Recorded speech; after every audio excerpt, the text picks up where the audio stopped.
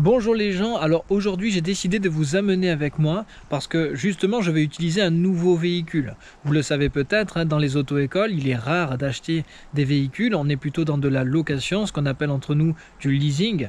Aujourd'hui on loue des voitures pour la simple et bonne raison que déjà bah, ça coûte moins cher et puis il faut avouer que franchement on leur met pas mal de kilométrage dans les dents et puis surtout on a tendance aussi en deux à vraiment les abîmer quand même. Hein. Donc du coup ça veut dire qu'aujourd'hui je change la boîte automatique que j'ai d'habitude, sur laquelle d'ailleurs vous pouvez retrouver la vidéo que j'ai faite il n'y a pas très longtemps. Je vous mets le lien juste en haut à droite ici. Je vous montre un petit peu pourquoi vous devriez utiliser une boîte automatique. Et ce que j'ai décidé de faire, bah, tout simplement parce que je sais absolument pas ce que ça va être comme véhicule. C'est mon frère qui l'a commandé et je lui fais totalement confiance. Bah, je décide de vous amener avec moi. On découvre ça ensemble. Go eh bien ça y est, on y est. La seule personne qui a utilisé cette voiture, c'est tout simplement mon frère quand il l'a ramené du concessionnaire jusqu'à l'auto-école. J'espère que vous m'entendez bien avec le son puisque je viens de comprendre qu'il y avait pas mal de vent. En tout cas, je vous laisse découvrir un petit peu le nouveau bijou.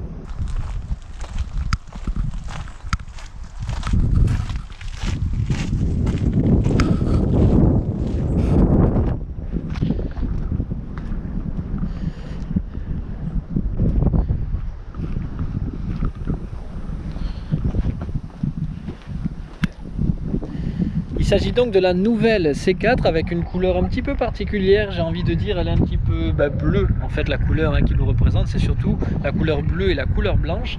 Et euh, déjà à première vue, bah, j'ai envie de dire, elle est un tout petit peu plus longue que la C4 que j'utilisais jusqu'à là. Elle doit faire à peu près, je dirais 3,50 m, d'ailleurs on va le vérifier tout de suite. 1 mètre, 2 mètres, 3 mètres, Ouais, on est presque à 4 mètres de long, hein. donc en termes de gabarit, ça me paraît un petit peu grand quand même, mais les élèves, en tout cas très vite, vont se faire la main, j'en suis sûr et certain. Je remarque quelques particularités. On va pas avoir des enjoliveurs, mais on va avoir plutôt des jantes. Alors ça c'est plutôt bien, mais il faudra surtout faire gaffe à éviter vraiment les trottoirs. Et puis quelque chose déjà qui me saute aux yeux et qui me paraît quand même pas tout à fait terrible, c'est ça. Il n'y a pas d'essuie-glace arrière.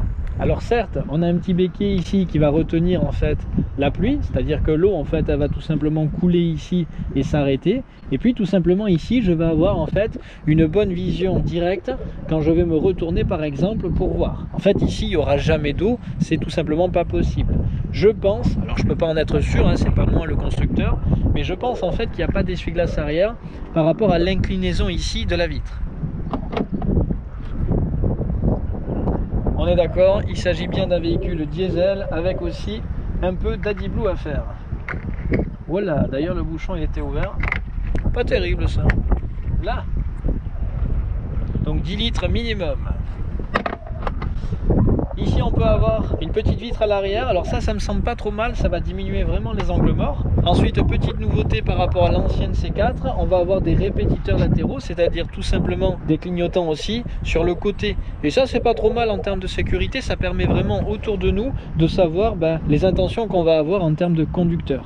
Donc à l'avant on retrouve feu de brouillard, on retrouve toujours pareil les feux diurnes qui permettent d'être mieux vus en plein jour, et vous commencez normalement à le savoir. Et puis sur le côté, c'est toujours pareil, hein. on retrouve plus ou moins la même chose, avec le rétro additionnel bien sûr qui est obligatoire. Maintenant, ce que je vous propose, bah, c'est tout simplement d'aller découvrir l'intérieur et puis évidemment d'aller tester un petit peu tout ça. Alors elle est vraiment neuve de chez neuve, hein. on va essayer de découvrir un petit peu tout ce que on peut avoir là-dedans. Alors, pas mal de changements quant au tableau de bord, c'est-à-dire que ici on est toujours sur une boîte automatique. Donc là on va pouvoir changer tout simplement les modes hein, en passant par exemple au mode sport, au mode neige si jamais il y avait besoin. Ici on retrouve le sélecteur de vitesse et puis on retrouve évidemment tout ce qu'on a sur le côté. Je vous en ai parlé il n'y a pas si longtemps que ça. Le frein de parkage, on va avoir le reverse, c'est-à-dire marche arrière, le fameux neutre, le drive pour avancer et le M. Alors vous me posez parfois un petit peu la Le M, c'est tout simplement le mode manuel, parce que si jamais je le désirais, je pourrais aussi encore une fois passer mes vitesses, par exemple ici, donc vers le haut ouvert le bas en me servant de ces palettes là. Ici, on a quand même pas mal de changements. Hein. Donc, on retrouve l'air conditionné, la clim, on peut la mettre à fond. On a le mode ici automatique, le recyclage d'air, toujours pareil, le désembuage de la vitre avant, dégivrage arrière, et puis la température plus ou moins chaude. Et tout de suite, là, ce qui euh, me saute aux yeux, c'est qu'on peut choisir autant le côté gauche que le côté droit. Mais ça, finalement, on l'avait aussi dans l'autre véhicule. On nous a mis un petit gilet, un petit triangle, c'est pas plus mal. Les doubles rétro, un pour le conducteur, un pour le passager. On retrouve aussi l'e-call en cas d'urgence. Je ne sais pas si vous connaissez, mais si j'ai un accident par exemple de la route, aujourd'hui grâce à ce bouton, je vais être tout simplement géolocalisé. Donc ça c'est obligatoire en fait depuis le 1er juillet 2018, euh, pas le 1er juillet, pardon, le 1er avril sur tous les véhicules neufs. Ensuite on va retrouver quelques petits changements. Donc on a l'avertisseur de fil, hein. je ne sais pas si euh, vous connaissez, mais si vous roulez trop à droite, le véhicule se remettra automatiquement au milieu de la voie. Je vais essayer de vous le montrer pareil tout à l'heure. J'ai jamais conduit de véhicule avec ça, on va essayer un petit peu de le tester. Et puis ici, ah, ça, ça me parle un petit peu. C'est normalement un écran qui devrait sortir. C'est-à-dire que je vais avoir les kilomètres heure ici. Et puis je vais retrouver évidemment là un écran qui va sortir. Donc ça, c'est pour moi une grande nouveauté. Ensuite ici, ouais, ça c'est toujours en mode manuel, hein, le mode nuit. Je sais pas si vous connaissez, en fait, quand vous tirez le petit clapet ici, vous avez le rétro intérieur qui devient un peu plus gris. Ça permet de ne pas être ébloui à l'arrière. Hein, voyons. Donc là, normalement, vous voyez bien. Hop. Et là, c'est la même chose, grisé. Hop. Pour derrière. Alors quand même, on souligne ici les rangements. C'est pas trop mal la coudoir, même si ça peut vite. Voilà, donner de mauvais réflexes, on va dire. Et puis des rangements, donc euh, c'est pas trop mal. L'ergonomie du véhicule, honnêtement, c'est vraiment bien. Alors, comment ça marche? Ah, on a de... Hop On a quelques petites nouveautés. On m'a mis une boîte d'ampoule. Ça, c'est plutôt sympa. Enfin, au prix de la voiture, il vaut mieux. Un constat. Un constat, le livret d'entretien. Ça marche. Et puis, un petit bidon d'huile. Ok, donc ça, ça peut toujours servir. Hein, si vraiment vous y connaissez rien en mécanique, sachez que... Oh là là là là c'est surtout le 0W30 qui compte. C'est ça en fait qui me permet de choisir l'huile de mon véhicule. Donc un premier rangement ici. Ok, et je pense... Oh alors ça c'est vraiment pas mal hein, pour mettre tout ce qui est papier justement du véhicule, tout ce qui peut être rangement pour les moniteurs d'auto-école, c'est sympa aussi. Hop, on va baisser ça. J'aime beaucoup par contre cette couleur hein, qui ressort là, le gris c'est vraiment très très très joli, ça fait vraiment fini. Et derrière, euh, bon il y a mon téléphone, peu importe, mais il y a l'air quand même d'avoir vachement de place, ça c'est super pratique. Et donc la vision directe elle n'est pas vraiment dérangée, hein. vous voyez là-bas, ça diminue vraiment les angles morts, c'est vraiment sympa. Donc, moi j'ai vraiment envie de tester tout ça quand même. Hein.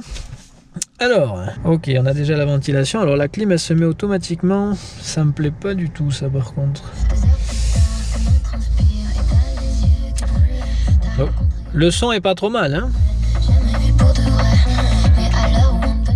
Pour un son d'origine, c'est vraiment pas mal quand même. Bon, Ok les gens, je vous propose d'aller voir un petit peu tout ça, ce que ça donne. Allez, donc vous l'avez bien vu, je suis sur une boîte automatique. Je vais par contre descendre, alors ça c'est toujours pareil, hein, le réglage. Moi je suis quand même pas très grand, mais j'ai besoin, ok, d'avoir une bonne visibilité sur le pare-brise. Là ça me semble vraiment pas mal. Au niveau de rétro, euh, donc j'ai le contact. Ah, le petit bouton il change un petit peu. Vous l'avez là, et on va essayer... Il n'y a même plus de bruit, c'est magnifique là-bas. Ok, c'est pas mal. Et ici, on est pas mal. Et euh, voilà, la ceinture. Monsieur permis Anthony, on est parti. Allez, euh, ok pour ça. Donc, on appuie bien sur la pédale de frein. On tourne la clé. Voilà. Alors, Oh, c'est ça que je vous ai parlé tout à l'heure. Le petit écran ici.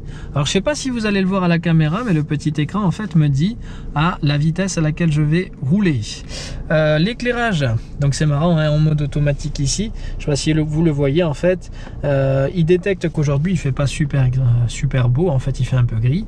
Et du coup, automatiquement, ça m'allume les feux de position. Ok, donc le stop and start désactivé. Et puis le frein de parking qu'on va retrouver ici le frein mais autant pour moi. Donc je l'enlève. Ici, je vais passer au drive. Donc en fait, pour utiliser le frein de parkage et le mode manuel, je suis obligé d'appuyer tout le reste, c'est-à-dire recul, neutre ou drive. Je me sers ici de la gâchette. Bon, et eh ben on est parti. Donc je fais attention évidemment autour de moi. Je mets le clignot, je lâche le frein et ça démarre déjà. On y va Alors déjà là au premier abord on se rend compte que vraiment la voiture elle est vraiment euh, très très souple en fait. Hein. Au niveau de la direction on se rend compte qu'il n'y a pas grand chose à faire. Hein. Vous voyez, à peine je vais bouger un petit peu mon volant là déjà, je pars dans tous les sens. Ok on va aller à droite. Allez. Ça fait du bien d'avoir un volant neuf. C'est très agréable à conduire. Allez, donc là on se rend compte aussi que la voiture elle est un petit peu puissante quand même. Alors elle est assez puissante, pourquoi? Parce que on fait tout ce qui est permis remorque et formation remorque. Donc on est obligé quand même d'avoir euh, une certaine puissance, un certain poids hein, au niveau de la voiture. C'est pas une voiture puissante pour avoir une voiture puissante.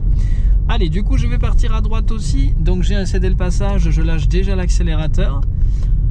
Alors même en boîte automatique, vous avez un frein moteur, hein. vous lâchez l'accélérateur et ça fonctionne assez bien. Au niveau du frein, c'est assez sensible. En même temps, c'est neuf. Il n'y a personne. Ok, on est parti. Allez, j'accélère un peu plus fort pour pas gêner si quelqu'un arrive derrière. Donc le volant, il revient vraiment tout seul. C'est vraiment très très agréable. C'est tellement confortable, je ne sais pas si vous vous en rendez compte à la caméra, il n'y a vraiment aucun bruit extérieur. Je suis vraiment insonorisé, j'ai envie de dire presque à 100%, j'entends quasiment rien de tout ce qui se passe dehors. La direction, elle est vraiment très souple, le volant très agréable à conduire. Au niveau du frein, alors je vais faire attention derrière, mais dès que je freine, alors on sent hein, que les plaquettes sont pas encore faites.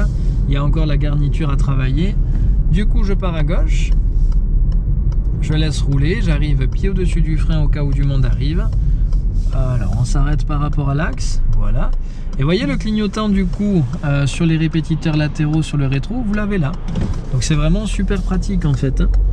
C'est vraiment super pratique que les gens derrière sachent bien vraiment que vous tournez, ça complète vraiment l'information. Allez, du coup je continue, je lance un peu plus ma voiture, je suis toujours limité à 50, hein. je peux faire une petite conduite commentée en même temps que je teste du coup ce nouveau véhicule. Là-bas je m'aperçois j'aperçois une voiture mais qui finalement n'arrive pas dans mon sens de circulation. Et ça, bah, vous savez quoi, moi ça me dérange un peu. Dites-moi dans les commentaires si la voiture que vous conduisez justement, alors je vais juste regarder mon rétro droit, voilà devant le rétro droit là-bas, ça c'est par rapport au croisement qui était un peu difficile, hein, c'est pas très large ici, je connais pas encore trop le gabarit. Donc dites-moi justement si la voiture que vous conduisez, vous avez un écran comme ça digital qui vous reflète en fait la vitesse à laquelle vous roulez. Moi, ça me dérange un peu honnêtement, mais c'est peut-être tout simplement que je suis pas vraiment encore habitué. Donc là, j'ai une priorité à droite, je l'ai vu. Alors, tout va bien. D'ailleurs, vous savez quoi Je vais l'enlever. Je vais faire une manœuvre tout à l'heure et je vais l'enlever parce que ça me dérange vraiment. Je pars à droite. Alors, je suis sur un croisement à priorité à droite. J'aimerais bien d'ailleurs croiser quelqu'un ici parce que c'est vraiment pas large. Hein. Allez, donc je relance un peu la voiture. Et oui, je suis sur une route à double sens. C'est pas du tout amusant si je croise un gros gabarit. Mais là, normalement, la visibilité est vraiment bonne. J'arrive à voir loin là-bas par-dessus la clôture. Derrière, j'ai toujours personne. Et puis la vitesse, même si c'est 50 pour moi, bah, je suis plutôt à 40. 40, ça me semble pas mal. Au-delà, j'aurais le droit, mais ça me paraîtrait un peu excessif. Donc vous voyez, je lâche déjà l'accélérateur. Derrière, personne me colle. J'ai vraiment ralenti parce qu'il y a un chien. Alors, il y a une zone à 30 évidemment, et puis surtout, il y a un petit toutou. J'ai pas envie de lui faire du mal. Donc le fourgon derrière, il arrive un peu vite. Hop Allez, je réaccélère après la bosse. Et je vais essayer de me faire une petite marche arrière. J'ai vraiment envie. Donc j'ai mis le clignot vraiment à l'avance. Je vais freiner vraiment. Alors je vais le faire après la dame. Parce que sinon je vais la déranger. Hop Et là j'appuie déjà sur le frein doucement pour que derrière il comprenne. Voilà, je vais vraiment freiner en douceur qu'il puisse me dépasser. Ok. Alors c'est pas très très large, je vais juste avancer un peu plus. Le gabarit me surprend un peu hein, quand même, on est vraiment très en hauteur et la distance latérale, elle est suffisante. C'est-à-dire voilà, je laisse vraiment euh, une dizaine de centimètres on va dire. Donc, marche arrière. Voilà, toujours avec le petit bip, hein, on entend vraiment du coup que je suis en marche arrière. L'angle mort c'est plutôt bon. Et donc ici, allez, je me tourne en vision directe, je surveille un peu le rétro. Donc l'avantage, c'est que je n'ai que à lâcher le frein. Voilà, derrière, il n'y a pas grand monde. Je surveille derrière. Ok, le rétro, c'est bon. Et je vais m'arrêter ici. Ah bah d'ailleurs j'avais pas vu, vous avez vu, euh, je suis en fait en marche arrière, j'ai une caméra ici de recul qui me permet vraiment de voir ce qui se passe en vision indirecte. Alors la caméra évidemment c'est une aide à la conduite, mais je peux pas me servir que de ça. C'est-à-dire que là ça m'aide beaucoup, notamment hein, quand on est une personne âgée et qu'on peut pas bien tourner sa tête, mais ici je verrai jamais si bien que si je regarde à gauche. Là-bas au fond, je sais pas si vous voyez, il y a un portail, et si je ne fais que regarder là, c'est pas suffisant. Si quelqu'un sort de chez lui, je le verrai tardivement. Donc, on repart. Ah oui, je vais rester hop là au neutre. J'avais dit que je voulais enlever euh, cet écran. En fait, il suffit de rester appuyé sur le bouton gauche. Et là, normalement, magie, ça descend. Vous voyez, c'est vraiment comme un lecteur CD. Hein. Je ne sais pas si vous avez d'ailleurs connu ça. Je suis peut-être un petit peu vieux maintenant que, j'en parle, mais euh, ok, Drive, c'est bon. Mais ça a existé. Il n'y a pas eu que du Bluetooth dans la vie. Allez, on y retourne. Ah, là, là, la vision est vraiment meilleure. Hein. Ok, donc caméra de recul, c'est encore un plus. Il y a vraiment beaucoup de technologie dans cette voiture, c'est pas trop mal quand même. Allez, les rétros. Hop. Ok. Alors, elle est vraiment puissante hein, quand même cette voiture. C'est-à-dire que là, j'allais pas très vite. Je regarderai à la vidéo à combien je roulais. Je pense que je devais être à peu près à à 20 km h mais il n'y a pas un énorme frein moteur. Alors il y en a quand même, ok Quand je lâche l'accélérateur, hein, c'est du frein moteur. Les gens, normalement, vous le savez, vous consommez pas, vous polluez pas. Mais c'est vraiment quand même euh, tardif, on va dire. Dès que j'appuie dessus, il y a vraiment quand même quelques secondes avant que ça commence vraiment bien à ralentir. D'où l'intérêt de faire gaffe avec ce genre de voiture qui est quand même assez puissant, hein, on va dire. Allez, rien, on y va. Ok, les petits rétros un angle mort au cas où pour garder les bons réflexes. Et on est reparti.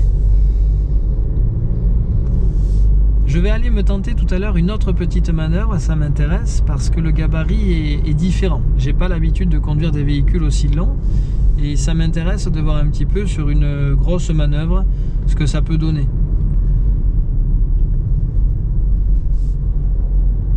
Prochain rond-point ben, je vais aller à droite déjà les rétros, le placement. Je lâche déjà l'accélérateur et voyez ça met un peu de temps quand même. Hein. En mode manuel on va dire, sur une boîte manuelle, ça ralentit beaucoup plus j'ai l'impression. En tout cas la boîte automatique ça change vraiment la vie. Vous êtes assez nombreux à m'avoir dit dans la vidéo précédente euh, que vous utilisiez justement en formation ou pas, d'ailleurs après le permis, la boîte automatique, ça révolutionne complètement, on va dire, la conduite d'aujourd'hui. Hein. Vous voyez derrière, en fait, le béquet cache un peu aussi euh, la visibilité. C'est dommage, il pleut pas, j'aurais bien aimé voir ce que ça donne si jamais il pleuvait. Donc là, je fais attention surtout au côté droit du passage piéton, ça pourrait surprendre. Et ce que je vais faire, c'est qu'au rond-point, ben, je vais prendre de suite à droite il y a un parking et j'espère bien pouvoir me garer en me trouvant une petite place. Allez, on essaie de voir un petit peu par là, il n'y a pas grand monde. Ok, la voie pour les vélos, ça va. Et donc l'entrée du parking, elle est ici. Alors il y aurait une place là. Ah non, c'est pas là, sens interdit. Ah ben je vais me garer entre les deux, c'est super là. Ou juste derrière, attends. Ce parking, il est intéressant. Je viendrai avec mes élèves. Vous voyez, j'ai failli me faire avoir avec un sens interdit. Et c'est important de le voir parce que je pourrais le couper au montage, mais c'est intéressant de voir aussi que ben, on peut être professionnel de la, route, pardon, et euh, des fois être surpris, se tromper, et puis voilà, on est être humain finalement. Donc, derrière moi, il n'y a personne. Je tarde pas trop à mettre la marche arrière que les feux de recul apparaissent. Et donc toujours pareil, je lâche le frein dès que le premier feu apparaît dans la grande vitre. Pas la petite, ça me semblerait un peu tôt. Je vais commencer à reculer braquer en vérifiant vraiment autour que personne n'arrive. Donc au niveau de mon rétro droit, ça a l'air de passer. Voilà, à la limite, j'ai une caméra, je vais m'en servir quand même un peu, si ça existe. Côté gauche, ça devrait passer, le rétro me le confirme. Côté droit, ça passe. Côté gauche aussi. La caméra, tout va bien un peu de vision directe quand même. Et quand je suis droit par rapport à en face, un tour et demi, voilà, ça me semble très correct. Et on n'est pas si mal que ça les gens. Donc, frein de parking, euh, parkage, parking pour compléter tout ça et on coupe. Ok, bon, euh, mes impressions par rapport à cette nouvelle voiture C4, c'est que je suis agréablement surpris, c'est-à-dire que finalement on a une voiture vraiment qui peut paraître large et pourtant vous voyez dans la manœuvre, bah, ça paraît pas si large que ça en fait, hein. on peut la garer vraiment comme une voiture C3 ou les anciennes C4, il n'y a aucun problème là-dessus. Je peux pas encore vous dire si ça consomme trop, j'en ai aucune idée, je pense quand même que oui. Il y a quand même pas mal de vitesse, hein, j'ai vu tout à l'heure. Euh, qui avait 8 euh, vitesses. Euh, autrefois, on en avait 6, après 7. Là, on en a carrément 8. Donc, j'imagine que quand on fait un peu d'autoroute ou quoi, c'est quand même adapté au niveau de la consommation. Et puis ensuite, euh, inconvénient, je dirais peut-être de ne pas avoir d'essuie-glace arrière. C'est dommage, il pleut pas, mais je pense que ça me gênerait quand même pas mal. Et ce béquet là, juste derrière. Alors, j'appelle ça un béquet, évidemment. Si vous êtes passionné de voiture, vous allez m'aligner dans les commentaires. Mais ce que vous avez là-bas derrière, en plein milieu du pare-brise, je trouve pas top quand même parce que je trouve que euh, ça masque. C'est-à-dire que je, je suis peut-être tout simplement pas habitué, mais je suis vraiment habitué à ce que quand je regarde derrière, je vois complètement la lunette et ça, ça me perturbe un petit peu. Autre point négatif, je dirais l'écran en fait qui sort. Euh, ça peut masquer, alors tous les conducteurs seront pas gênés par ça, mais ça peut masquer aussi un petit peu bah, ce qui se passe juste devant nous. Après voilà, hein, c'est quand même une voiture assez souple.